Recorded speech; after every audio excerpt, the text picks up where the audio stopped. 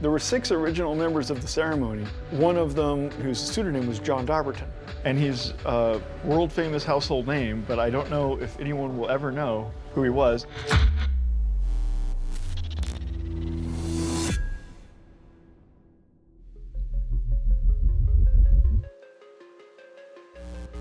One of the things that really took me down the, the crypto rabbit hole was um, the, the ceremony. The ceremony. The ceremony. Ceremony. No cryptocurrency has ever launched with a more detailed process than Zcash's ceremony. Zcash is a privacy preserving cryptocurrency that allows users to create end to end encrypted transactions. But to start Zcash, the inventors encountered a few challenges. There's this critical like problem or stumbling block, which is somebody has to generate the parameters. They have to generate this cryptographic structure. And if the person who generates that cryptographic structure secretly keeps the key that they use to generate it, then they will be able to counterfeit money. When launching Zcash, developers create a special key that is used to lock the code that runs the currency. With the code locked, no one can generate any counterfeit transactions. But there's a catch. Users would have to trust that the developer who locked the code also destroyed their copy of the key, and that no one else duplicated the key.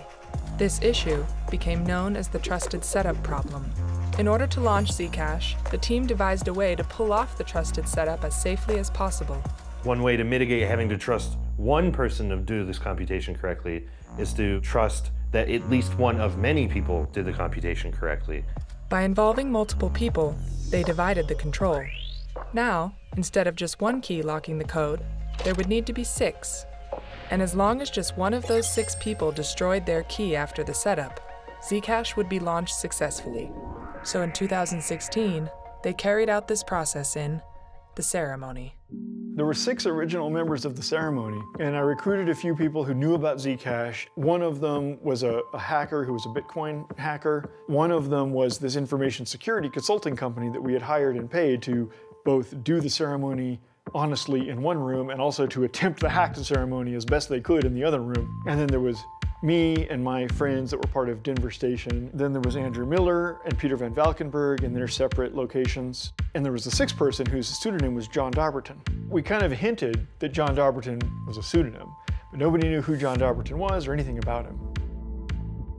After the original six members successfully completed the ceremony, Zcash launched in October 2016, but it underwent significant improvements in the years that followed.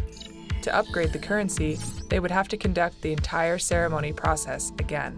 We did the second version, and that version had some science upgrades that enabled us to have like a large number of participants. That's what we did two years after that when we launched an upgrade to Zcash. We involved multiple people, at first six and then hundreds of people. But despite the success of both ceremonies, a problem remained people don't necessarily trust a trusted setup, even if there's a million people. How am I supposed to believe that they were honest and how am I supposed to believe the ceremony even took place and so on? It doesn't matter how good the trusted setup is. It's not good enough for trillions of dollars, billions of users, hundreds of years. We gotta do better. Getting rid of trusted setups is ideal.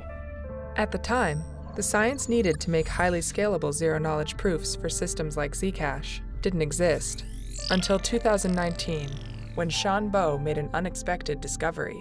So I spent a long time trying to come up with a way to make it more efficient. I just stumbled upon a technique to do this zero knowledge proof construction on completely ordinary elliptic curves. And so over the course of maybe 24 hours, it went from, ooh, that's really exciting, that'll be neat if we can do that, to holy crap, now we don't have trusted setups or anything. It's all really simple.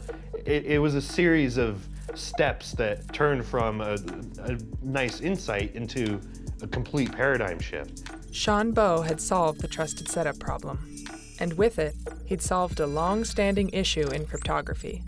His discovery is already being deployed and built on by researchers and businesses. There's really nothing that compares to that feeling of being a high school dropout that contributes something significant to cryptography and the history of cryptography. That's really cool. I, I think that's um, Wow, I'm really lucky to be able to do that.